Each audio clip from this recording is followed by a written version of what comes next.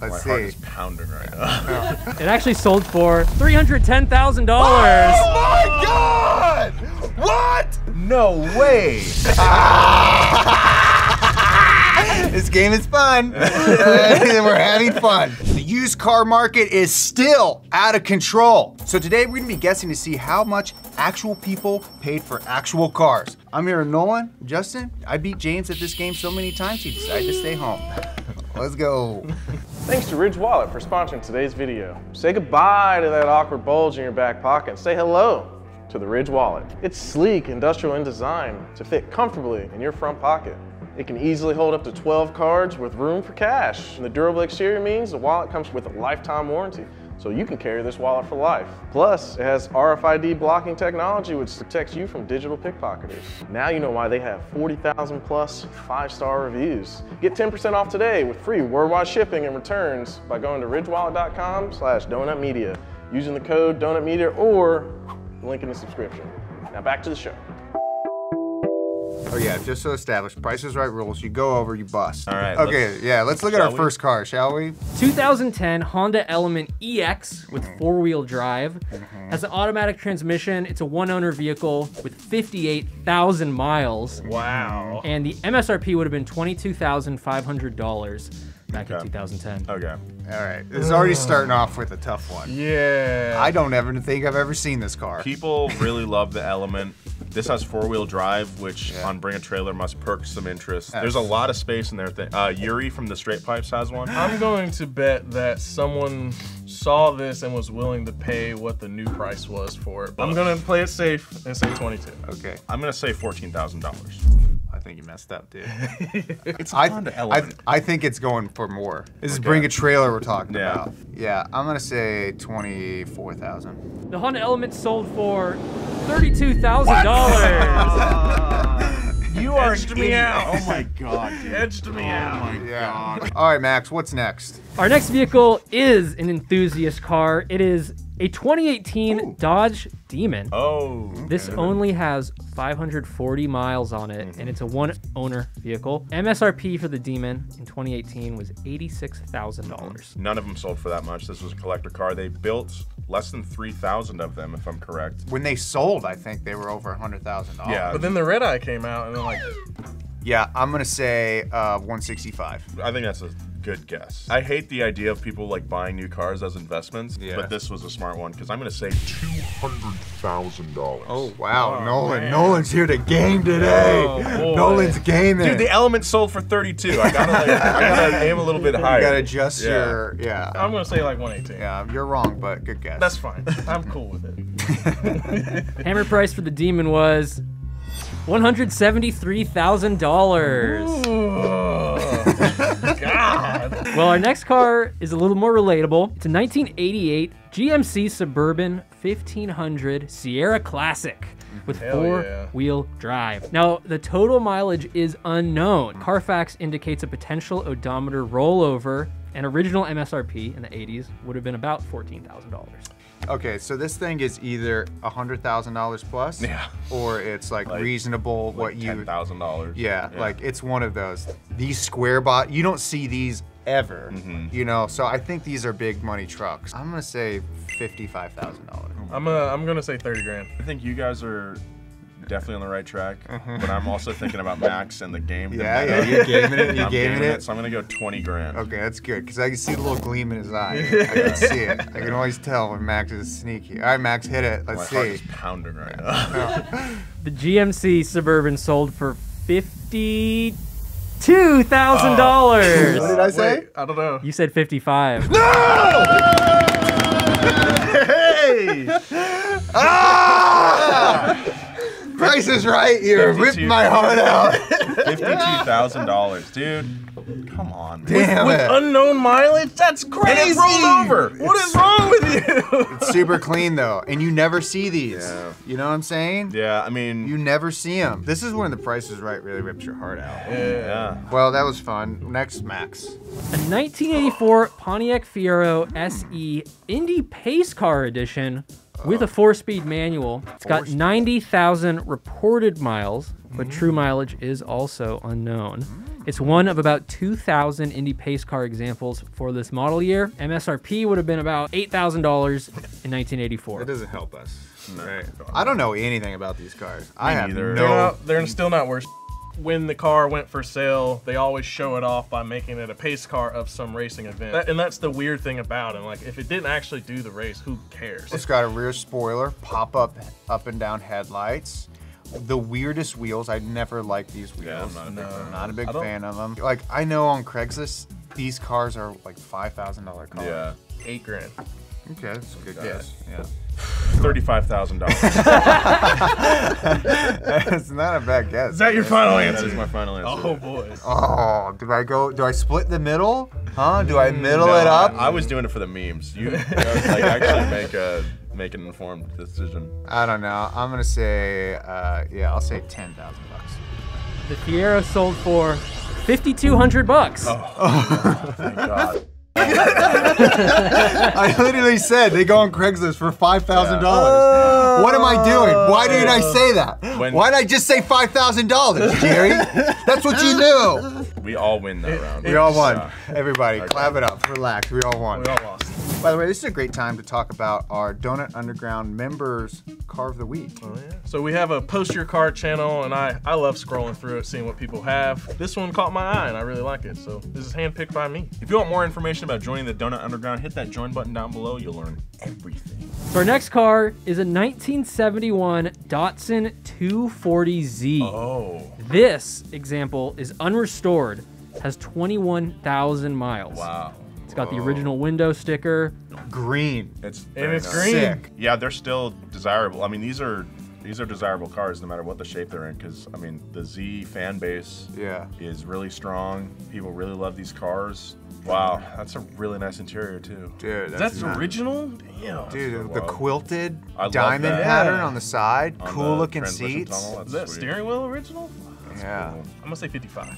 55? 55 grand. Jerry, go ahead. Oh, dude, Jerry, Jerry, Jerry. Eh, ah, ah. He's stressing out. He's stressing out. Okay, here's my thought. I'm gonna give you my thought process. Okay. Okay. I'm thinking, is this car a hundred plus thousand dollar car? It's not repainted. That's a huge thing, Yeah. right? Like low miles. I think it's over a hundred thousand dollars. So I'm gonna say a hundred thousand dollars. Okay. I don't know if that's where those are. These are. I have I'm gonna no say 85. That's a, that was my second guess. Yeah. I was either 85 to 100. Yeah. Like that's a great guess. All Drum roll. Drum roll. right, let's drum hear roll. it. All I right. went big. The Datsun sold for $310,000. Oh my God! What? oh no way! Three hundred thousand dollars, Wow, dude. Did, did Good for Nissan you. buy this? Unreal, yeah. Good for you, whoever Wow. has that. All right, Max. I need to cleanse my palate. What's next? Well, uh, up next, we actually have a little bit of a mini game. Oh, cool. Whose like car sold for more? In the left corner, we have a 1964 Volkswagen bus Uh-huh. converted to a camper that was owned by Jerry Seinfeld from 2010 to 2016. And then in our right corner, we have a 1974 Polski Fiat 126P that was built for Tom Hanks. Yeah, wow. So you you basically can each guess which one you think sold for more, and everyone has potential to win a point here. If Tom Hanks looks that dorky in that car, Yeah. everyone's gonna look dorky in that Yeah, car. that's fair. Americans don't give a crap about Fiats, so I'm gonna go with the van. All right, I'm so saying bus. Bus. Bus. Jerry Seinfeld's Volkswagen sold for $120,000. Okay.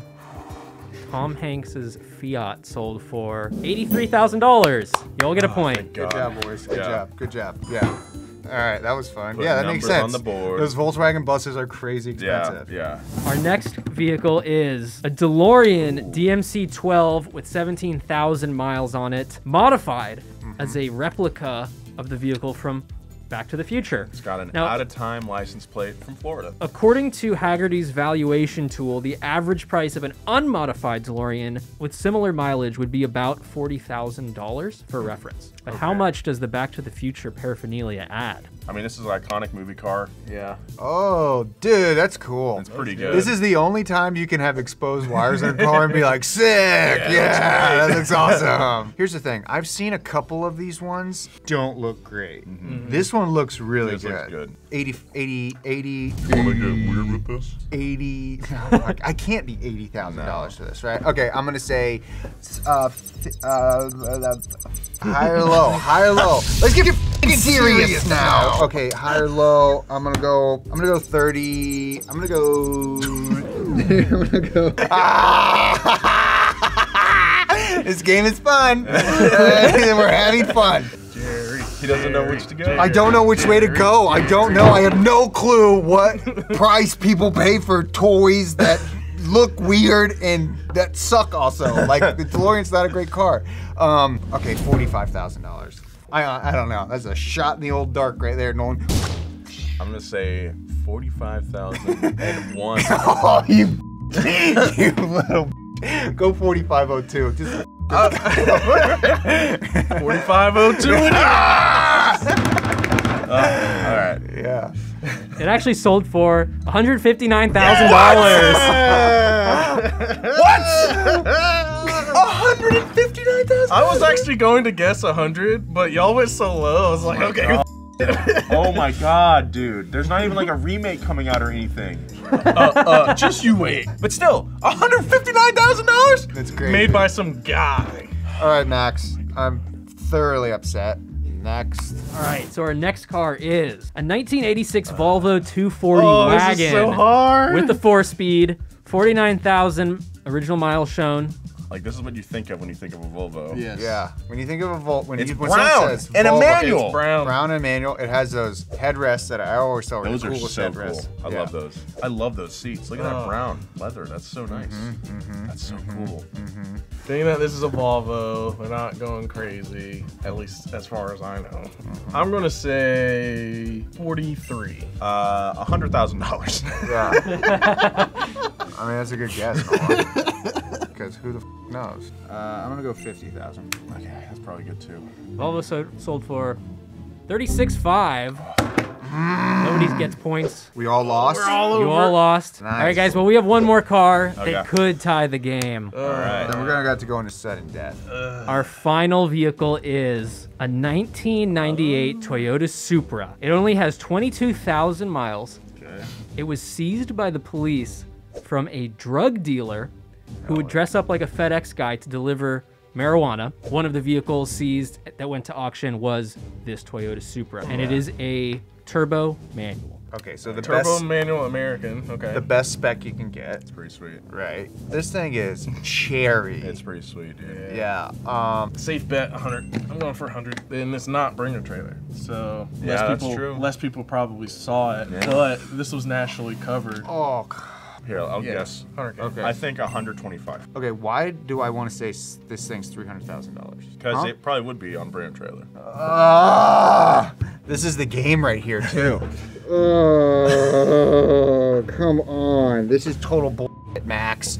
You did the last one that's not bring a trailer, so I don't know if the bring a trailer tax matters. Come on, this is come on. The 240 It's oh yeah. was 300 grand. This thing, this thing has to be $300,000. I'm playing it safe for the sake of the game, and I'm gonna say $150,000. Okay, Max, what is We it? all lose. All 60K. right.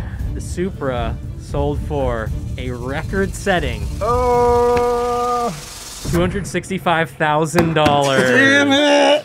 See, insane. I, I knew I. Ah. Good thing I didn't say three hundred thousand dollars.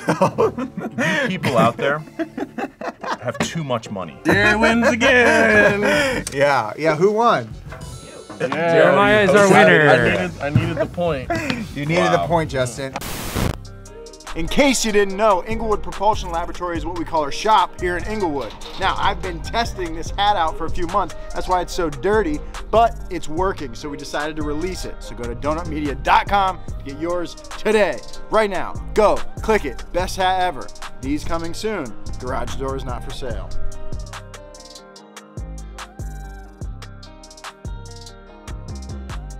Thank you guys so much for watching. We play this game a whole bunch, so if you want to check out more used car prices, click over here.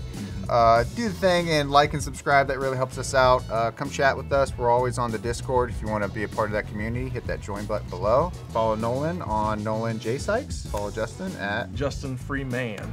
Follow me at Jeremiah Burton, and of course, follow us at Donut at Donut Media. Guys, this was fun. That was fun. Later. Till next time.